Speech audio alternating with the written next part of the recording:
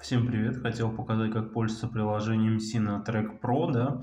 Вот сейчас я авторизуюсь и покажу, что тут есть внутри, как это все у нас работает.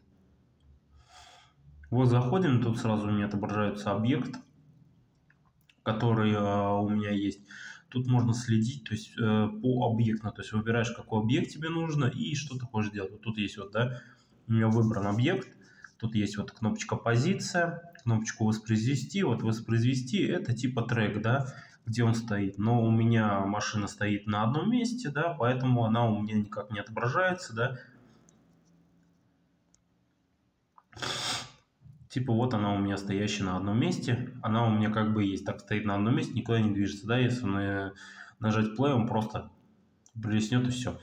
Есть устройство, да, это вот устройство, которое у меня в сети, Тут вот пользователи какие есть, устройства какие в сети, какие не в сети. Вот выбираем устройство. А, есть мои функции, то есть управление устройствами, управление пользователями, то есть система, язык, э, настройки карты. Есть э, настройки больше это вот по устройству, есть по мониторингу, вот отчеты есть, да.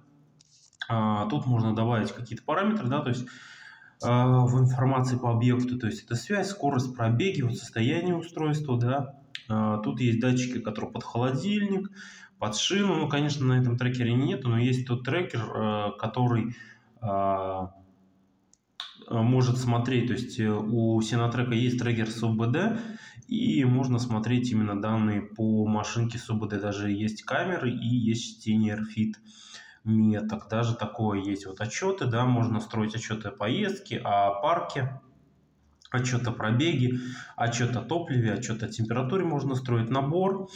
Это то есть вот после устройства голосовой мониторинг, есть установить номер СОС, установить номер администратора, и есть чувствительность. То есть это э, режим энергосбережения можно установить, автоматическое включение выключение питания, принудительное выключение.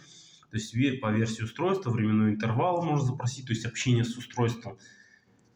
А, будильники, послать текст, вот отправить смс если вы внесли э, эти данные, перезагрузить устройство, сборовская заводскими настройками есть. Также вот есть другие, вот контроль дверей, контрольное устройство, контроль защиты. То есть все это можно сделать, тут настроить. Есть вот режим тревога, есть можно установить э, режим забор. Режим забор это геозоны. Геозоны, к сожалению, тут только круглые, они очень ограниченного момента. Плюс есть значок устройства, можно поменять информацию, а, найти, то есть по каким-то искать по всем трекерам. А, информацию об устройстве, это которое занесено в устройство. Есть рекордер, это то есть записать э, аудио, которое там с микрофона. Не все, кстати, оборудованы микрофоном. Есть вот мера, да, то есть, то есть можно посмотреть э, расстояние, где как находится вода. То есть есть у меня вот снизу, справа это сколько-то, то есть в метрах получается, да, разрешение, да, чтобы можно было посмотреть, то есть где примерно как э, машинка отбивается.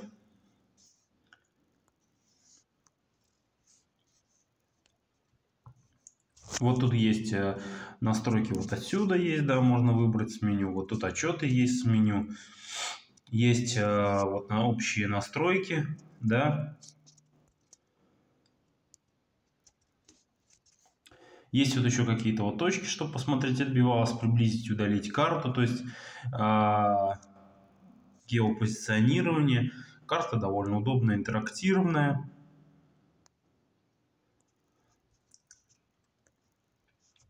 Прогружается хорошо, работает. То есть в зависимости от функционала э, довольно интересно получается, плюс недорого. Вот он показывает, так работать. Есть вот карту, можно переключиться в режим э, спутника, чтобы было удобно смотреть. К сожалению, интернет у меня не самый высокоскоростной, поэтому некоторое время э, обрабатывается, подгружается камера, мож, э, точнее карта, и можно будет потом Получается, по факту, там, например, зайти, чтобы быстрее она отображалась, работала, взять и зайти потом просто тупо с компьютера, и с компьютера при стационарном интернете это будет все работать гораздо больше. Быстрее, точнее. Ну, вот она отгрузилась, карта, да, э, вместе с маршрутами.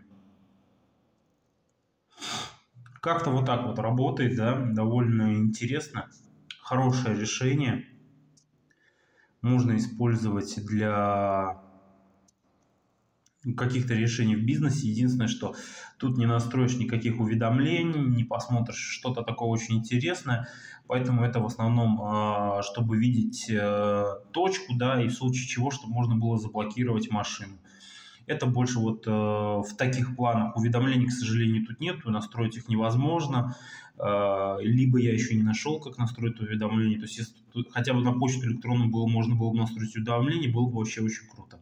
К сожалению, пока такого я тут не нашел. Благодарю всех за внимание. Всем удачи, до свидания.